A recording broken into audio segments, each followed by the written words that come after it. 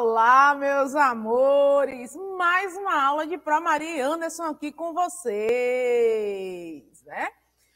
Vamos começar já com aquelas orientações bacanas. Deixa aquele like aqui pra gente, se inscreve no canal da Seduc, deixa aquele comentário e compartilha aí o vídeo da gente para que os coleguinhas de vocês, tá? E o maior número de pessoas consigam ter acesso a essas informações, tá? Não deixa de compartilhar o vídeo, de curtir, comentar e principalmente se inscrever aí no canal da Seduc, tá bom? Hoje, né? mais uma aula de linguagens com vocês, nossa aula de número 138. E vamos aí continuar, né? Com a nossa temática da semana, Mundo dos Vertebrados. Mas, o Pro, tem alguma coisa de diferente aí nesses animais agora? Tá tudo tão colorido, umas cores assim diferentes. Pois é. Hoje a nossa aula vai ser voltada aí para um artista em específico, né? Hoje, dia 21 do mês 7 de 2021, nossa área de conhecimento interdisciplinar, linguagens, não é isso? Bom, Pro Maria aqui com vocês, terceiro ano, né?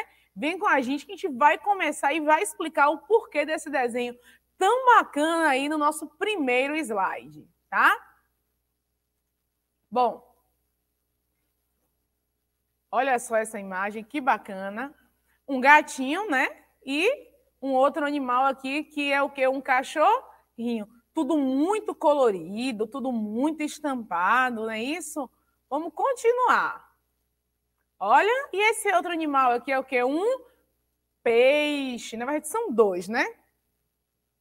Também muito colorido, super bem desenhado, bem pintadinho. Dois cachorros, né? Aqui agora, olha, um amarelinho, um marronzinho, tudo bonitinho, florzinha, bem colorido também. E aí, já conseguiram descobrir de quem é esse desenho, de quem são essas telas aí, de quem são essas obras de arte? E aí? E agora, olha, que animal é esse? Um porquinho. Ó, ó, porquinho como é assim, Anderson? Um porquinho, né? Vamos seguir. E esse? Um urso, né? Um urso. Do lado um cachorrinho aqui levando uma flor e do outro lado o quê? Uma vaca, um boi, um touro. Um touro, eu acho que é um touro, né? Porque aqui é um chifre. Um touro. Pois é, todos muito coloridos. Já conseguiram descobrir de quem são essas obras de arte? Já vê, viu alguma delas por aí? Alguma delas te lembra alguma coisa que você já tenha visto também? Ainda não descobriu? Hum. E quem é que conseguiu descobrir? Se você conseguiu descobrir, você vai escrever aonde? Aqui embaixo, não é isso? Coloca aí que eu quero saber quem descobriu. Né? Coloca lá no chat ao vivo que eu quero saber. Bom, quem fez todas essas obras de arte aí foi Romero Brito, tá? Romero Brito, esse rapaz, esse senhor, que agora já é um senhor, né? é, ele nasceu no seio de uma família simples, aonde? Em Recife, Pernambuco. O que quer dizer que Romero Brito ele é o quê? Nordestino, assim como a gente, não é isso? Bom, no dia 6 de outubro de 1963. O que a Pro está fazendo aqui agora? Fazendo o quê? A leitura da biografia de Romero Brito. A gente já estudou biografia aqui, não já, gente? Pois é. Desde a infância, desde a infância Romero Brito manifestou o quê? tendências artísticas e muita criatividade, que é uma coisa que a Pro também fala muito com vocês. Vamos lá, gente. Vamos exercitar essa criatividade. E era justamente isso que Romero Brito ele fazia e faz aí até hoje, tá? Exercita bastante a sua criatividade. Ô, oh, gente, aqui tem um C de começou, o teclado com defeito, né? Comeu cedo começou aqui. Começou a fazer direito, tá? Na Universidade Católica de Pernambuco mas abandonou o curso e foi para onde? Para os Estados Unidos, país, né, em que se radicou e onde, né, desenvolveu uma carreira artística sólida. Como assim sólida, Firme. Ele até hoje, né, até a atualidade, até os dias de hoje, ele é reconhecido aí como um grande artista, certo? Ele fez direito, no entanto, né, ele é um artista plástico aí, né? Ele pinta telas maravilhosas, faz esculturas aí também muito bonitas. Se casou com a estadunidense. O que é uma pessoa estadunidense? É uma pessoa que nasceu aonde? Nos Estados Unidos da América. Se casou com a estadunidense Cherry Ann Brito e tiveram um filho chamado Brendan Brito, né? Então ele é casado, tem filho. Essas imagens que aparecem aqui por trás dele são o quê? São as telas dele, né? Bom, Romero Brito se tornou um dos pintores mais premiados, né? E é um dos artistas brasileiros mais prestigiados no exterior atualmente, né? Então ele tem um grande prestígio no exterior por conta, né, dessas telas tão coloridas e tão inovadoras. Bom, chamado também de artista pop brasileiro, a gente vai ver aqui o que é essa arte pop. Romero, né, é muito conceituado nos Estados Unidos, que é lá onde ele mora. E teve o quê? Quadros adquiridos por muitas celebridades norte-americanas, como quê? Madonna, Michael Jackson e Arnold, Arnold Schwarzenegger. Meu inglês aqui, Anderson, batendo mais uma vez bonito, você viu? Michael Jackson. É meu inglês assim, uma coisa maravilhosa. Bom, então vamos lá. Esse aqui, né?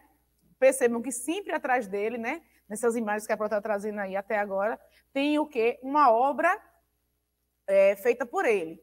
Além disso, Brito também produziu telas para o Príncipe William. Olha só, para a realeza. Kate Middleton Pelé, né, Roberto Marinho, que é aí o, o, que foi o fundador da Rede Globo, hoje não está mais entre nós, ele não está mais vivo, tá, gente? E para Dilma Rousseff, também fez uma obra de arte é, para o atual presidente, não é isso? É, vamos lá. Presente em inúmeras galerias e cidades do mundo, as obras plásticas né, de Romero Brito são influenciadas pelos movimentos cubista né, e pela pop art. Então, se a gente olhar aí, o que é o cubismo, né? Essas formas geométricas aí, tá? Nas imagens. Então, se a gente perceber, ele sempre tem o quê? Linhas retas, círculos, né? Quadrados, retângulos, triângulos, estão sempre o quê? Presentes nas telas de Romero Brito. Então, se a gente olhar essa daqui, ó, ó, olha aqui os formatos, né? De coisas que, ó, vão se assemelhar a triângulos, listra, bolas, então, vamos seguindo aqui. Aqui né, é uma tela cubista que a Pro trouxe para vocês conseguirem comparar uma coisa com a outra. E do cubismo, né, que a Pro acabou de falar o que era o cubismo, percebemos a deformação que é da anatomia humana ou animal. Né? Bom, a gente viu né, que os animais que aparecem nas telas de Romero Brito, eles não são é, uma reprodução exata. É uma licença artística, ele desenha esses animais, né?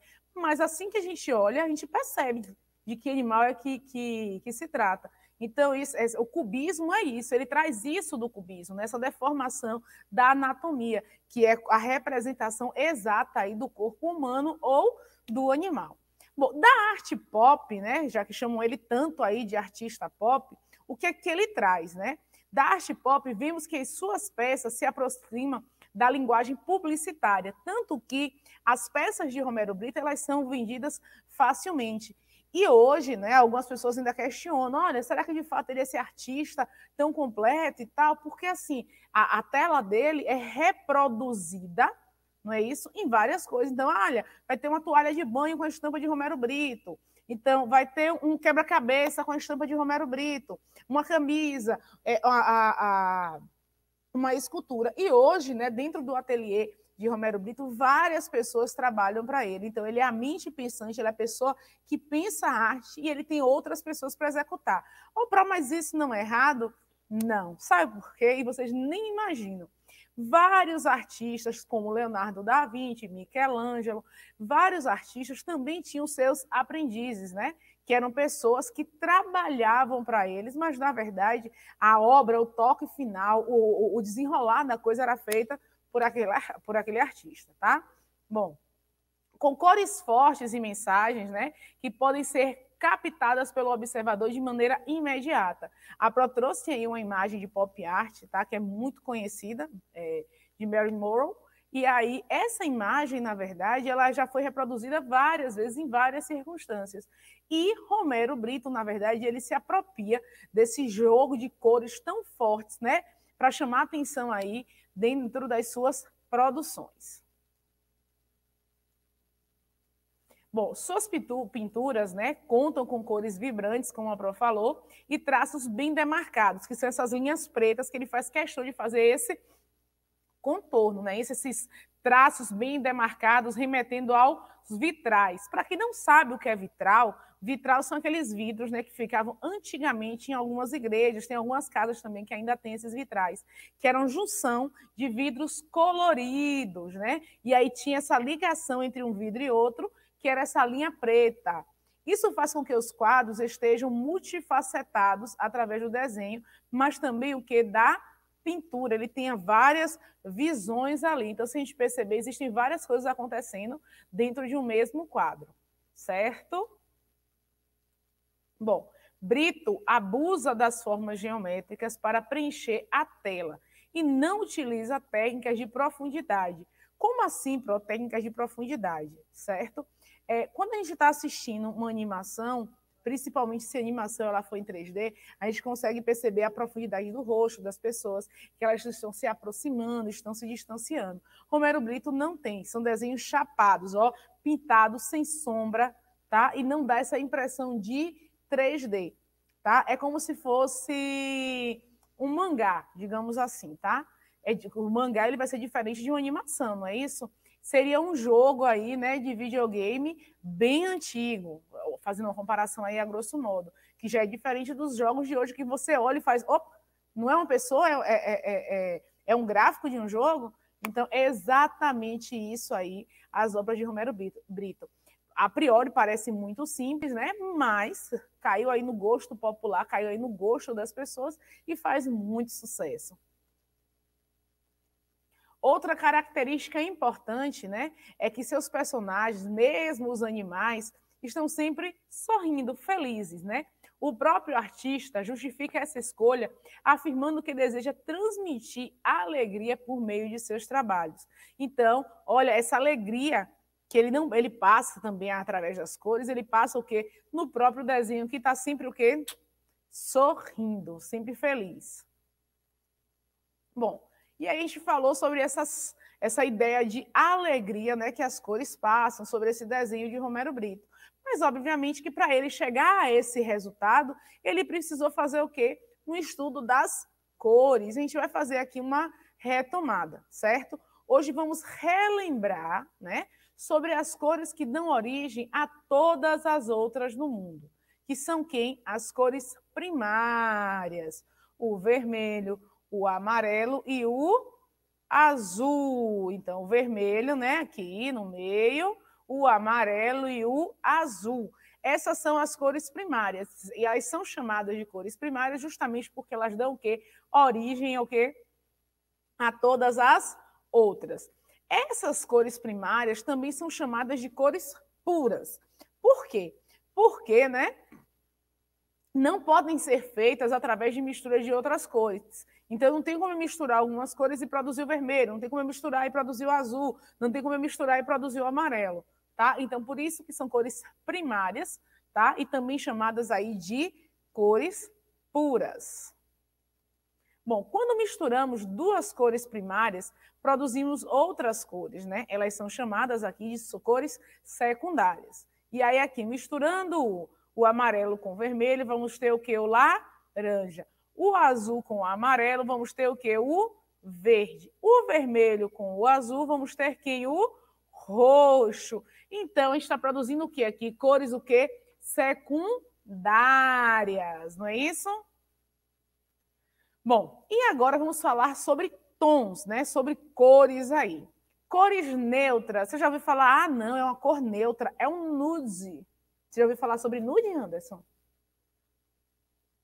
Nunca ouvi falar sobre nude? Ah, sim. Pois é, mas você. Ah, é nude. Pois é, nude são as cores que possuem o quê? pouca reflexão da luz, ou seja, elas não tem lá muito brilho. E vai o quê? De tons de cinza e de marrom. Então a gente tem esmalte nude, uma camisa nude, que é o quê? Bege, tá? Que são de tons de cinza marrom. E aí a Pro colocou uma paleta aí para vocês, né? De cores neutras, né? É... Que são essas cores de tons de cinza e marrom. Neutras, nude, tudo isso aí. Bom, cores quentes, né? São as cores que podem transmitir o quê? Uma sensação de calor, amarelo, laranja, vermelho e cores que se assemelham a isso aí. Por quê? Porque te lembram que o calor, quando a gente vê isso aí, eu já penso no sol do verão. Não é isso? E assim como a gente tem aqui, ó, a gente teve as cores neutras, não é isso? Que são os tons de cinza e de marrom neutras, e que aqui o nude está aqui dentro a gente também tem o quê? As cores quentes e vamos ter, obviamente, as cores frias, que são quem? São as cores que transmitem sensação de quê? De frio. Azul, verde e violeta e tons aí, né? Na verdade, se a gente olhar aqui esse círculo cromático e cores, né? Derivadas dessa daí. E aí é uma reflexão aqui para vocês. Nas obras de arte lá de Romero Brito, ele usa mais cores neutras, cores quentes, cores frias? Lembra que teve uma aula aqui que a prof falou sobre branco e sobre preto? O branco era a ausência ou a mistura de todas as cores, ela passou uma atividade. E aí, cadê a resposta? E o preto era ausência de cores ou a mistura de todas as cores? E aí? Hum? Bom, vamos seguindo aqui, né? Vamos produzir? Eis que chegou a nossa hora. Vamos produzir sim. A prova vai fazer a mágica acontecer. Vamos para a mesa agora, para a gente fazer aquela aula prática, né? E vamos produzir aí um desenho inspirado em quem? Em Romero Brito. Vamos lá. Voltamos, amores, com nossa mesa aqui de aula prática, onde vocês não me veem mais, só veem minha mão. Sou eu, para Maria, tá? Anderson tá aí se mostrando mas é só por enquanto, viu, Anderson? Bom, para a nossa atividade de hoje, né, o que é que vamos utilizar? Deixa eu até arrumar aqui direitinho. Papel ofício, né? Você pode usar papel ofício, sobra de cartolina. Se você tiver uma tela em casa, você pode utilizar também papelão, a tampa da caixa de sapato, tinta guache, a Pro trouxe aqui, né? Lembra que a Pro, inclusive, explicou para vocês, olha e falou, que aqui na tampa da caixa, olha só, vinham o quê? Ó, as cores e as, ó, as misturas que vocês poderiam fazer. A luz acaba aí, pronto, tá vendo? E aí nas caixinhas, né, geralmente costumam vir isso aqui. A Pro pegou ali papel toalha, tá vendo? Que é para poder secar o pincel que ela vai utilizar, tá? Mas Pro não tem tinta. O que é que eu posso utilizar? Lápis de cor, que a Pro trouxe também lápis de cor, tá? E, né, você pode utilizar hidrocor, piloto como esse aqui, e pode usar também hidrocor, tá? Então a gente vai fazer o seguinte: uma obra aí inspirada em Romero Brito. Vou deixar duas folhas de papel ofício aqui, que é bem mais fácil, né? A prova desenhar um cachorrinho, tá? Porque é um desenho que ela sabe fazer desde criança. Bom. Eu, não, eu também sei fazer uma casa. É, eu sei fazer uma casa também desde criança. Aqui. Aprenda, viu? E tem uma historinha por trás desse negocinho aqui. A gente sabe o quê? Que os traços de Romero Brito, eles são bem escuros, não é isso? Aqui ficou bem escuro, não. A gente já pega outro para poder o quê? Escurecer, ó.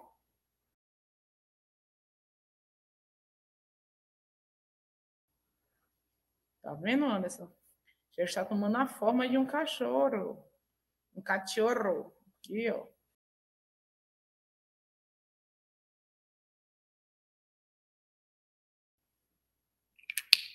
Vamos ver o próximo se a, tinta está um pouquinho melhor. A língua do cachorrinho, porque ele está feliz, e o Anderson? Só que na obra de Romero Brito, vou fazer dela uma menina. Fica uma menina, fica legal, não fica?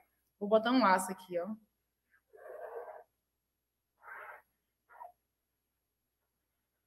Pronto, tem um laço de fita aqui. Lá nas obras de Romero Brito, ela tem um pote aqui de piloto, ela vai pegar outro. O fundo da tela tem sempre o quê? Formas geométricas, não é isso? Então, a gente vai fazer o quê? Formas geométricas aqui também, ó. Fazer bem parecido com a deles, que a dele é sempre uns triângulos assim, né?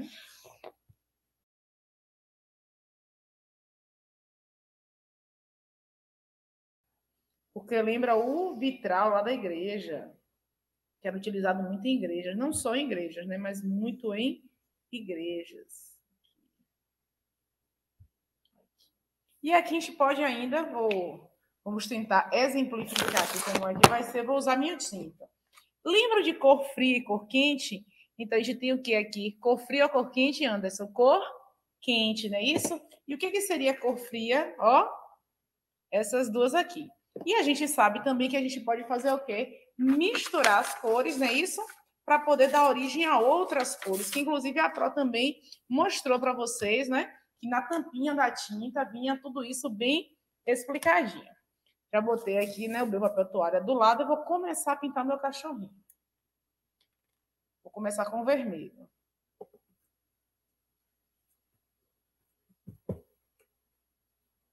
Vou pintar o quê? Vou pintar essas áreas aqui primeiro, ó. Depois eu pinto o cachorro dentro.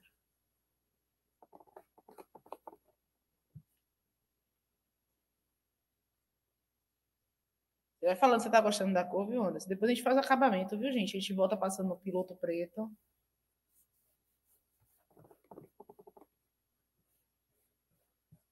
Botem alguma coisa embaixo da sua obra de arte também, para não sujar a mesa, como a Pó tá fazendo aqui. Tá? E vai pintando, ó. Então, eu não tenho pincel. O que é que eu faço? Eu uso uma, o dedinho Uso um cotonetezinho se eu tiver. Mas eu posso usar o dedinho se eu tiver a tinta. Se eu não tiver a tinta, eu uso o quê? Lápis de cor. Ó. Vamos pintar mais um aqui. Essa parte aqui de cima, ó. Vai ser difícil porque tem esse cantinho aqui, ó.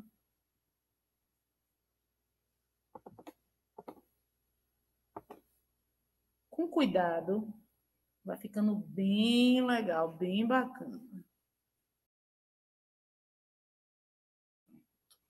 Agora, vou aproveitar que o meu pincel ele já está sujo, não é isso? De amarelo. Vou até botar aqui em cima, ó. E vou fazer o que agora? Amarelo com vermelho dá o quê, gente? Ó, laranja. Ó, a Pro já colocou aqui, ó. A gente vai fazer o quê? Pegar um pouquinho aqui do vermelho e, ó, já para botar aqui para frente para vocês verem, ó.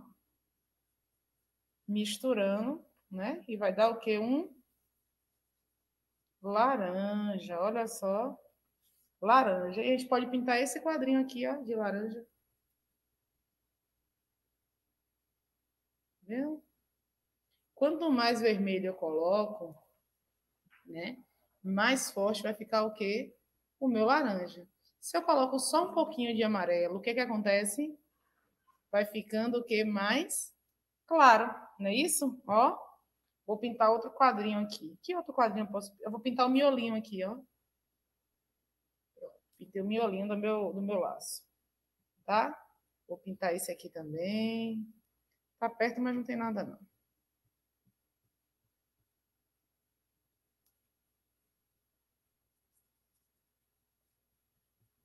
E agora eu posso usar o quê? Vou lavar meu pincel, tá? E posso usar o quê? Olha para utilizar aqui. Vou usar cores frias. Vou usar uma outra cor aqui. Azul. Né? Vou pintar de azul aqui agora. Tá esse aqui de azul.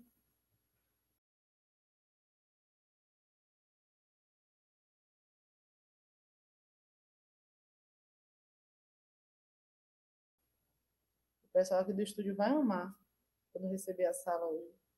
E eu ter sujado essa mesa inteira.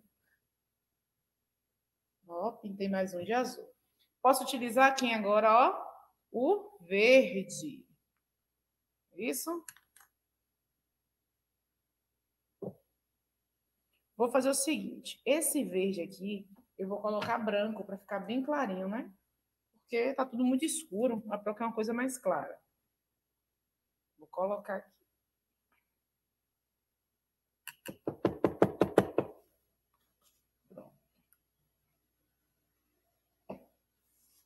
Olha só, a Pro botou aqui, né? Ó, tinta branca, tá vendo? Junto com a verde. Vai dar uma misturadinha aqui. E ficou o quê, ó? Um verde um pouquinho o quê? Mais claro. Não é isso? Ó, e vou pintar aqui.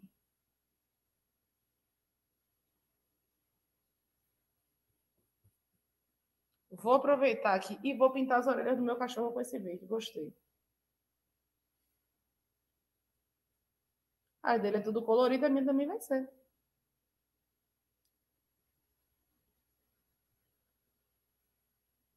Aqui.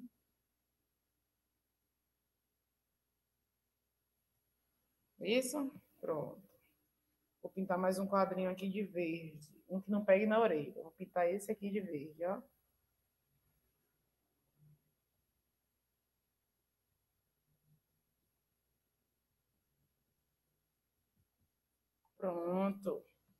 Vamos agora utilizar que cor amarelo. Vou começar a pintar o meu cachorro agora de amarelo.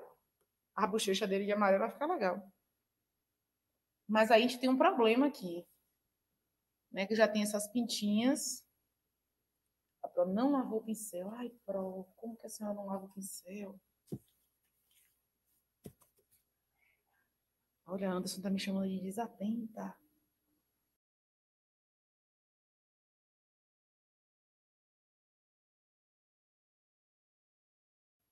E vou pintar esse quadrinho aqui de amarelo também. Aproveitar que meu pincel já está sujo de amarelo e vou pintar. Ó.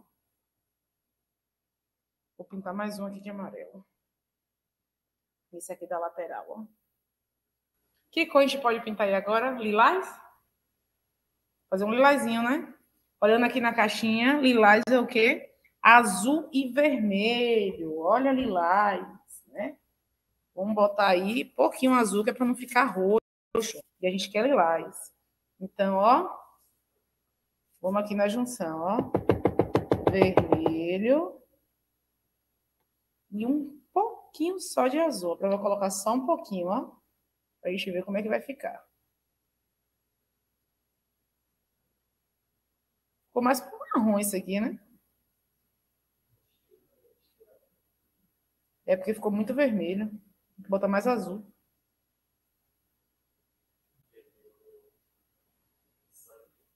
Ficou, né? Ficou escuro. Aqui ficou roxo. Ficou roxo, Anderson. Mas se eu quero lilazinho, o que eu posso fazer? Eu vou colocar um pouquinho mais de azul, certo? E vou colocar branco. E vai dar certo. Cadê o branco?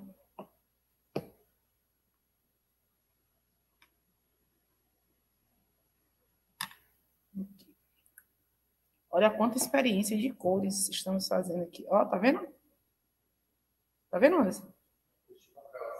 Aí, ó. Ó.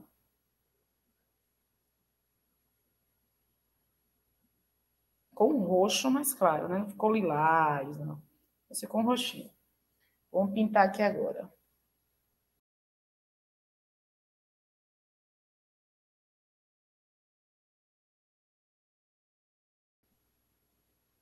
Ah, inclusive, eu posso. Deixa eu ver o que, que acontece aqui, se faz alguma cor nova. Porque também existem as cores terciárias, né? As secundárias e existem as terciárias também. Vou pintar o que aqui agora? Vou pintar o nariz dessa cor com marrom aqui agora. Misturei laranja. Tá ficando bonitinho meu desenho. Vamos lá.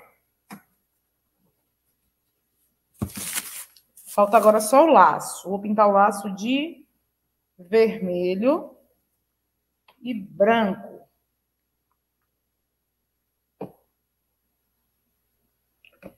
Ó, o que a Cacau tá fazendo aqui. Deixa eu guardar as tampinhas, ó vermelho e branco, para ver se a gente consegue um rosinha, ó. Ficou bem clarinho, tá vendo? Vamos pintar o lacinho agora, ó. Pintar essa parte aqui de rosa. Amo rosa, a melhor cor. Pronto. Eu vou pintar essa corzinha aqui também, peraí. E a língua, a gente pode pintar ela de que cor? Preta? Preta, né? Vou pintar de preto. Fica bem É, eu vou pintar de preta. Preto, preto, preto, preto.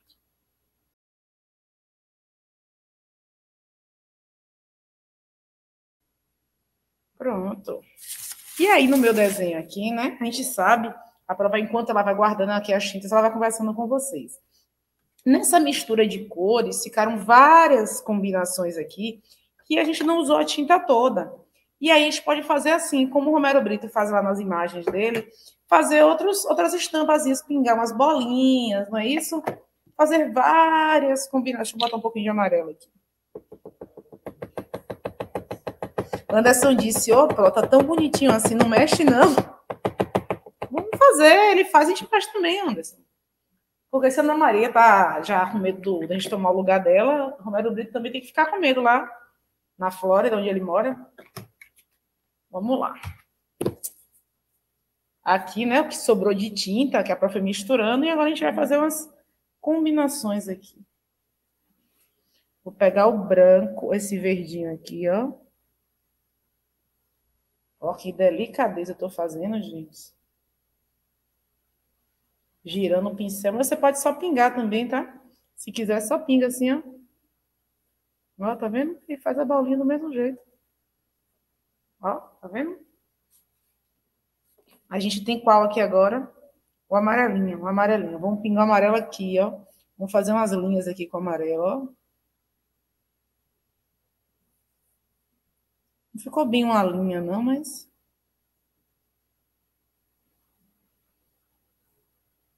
Pronto.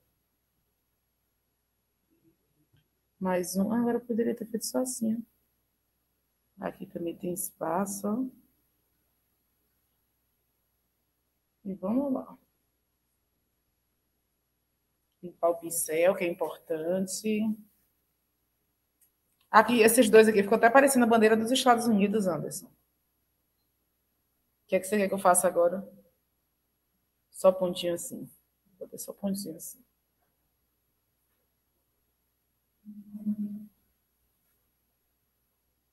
Cor mais escura agora. Vou pegar uma cor mais escura.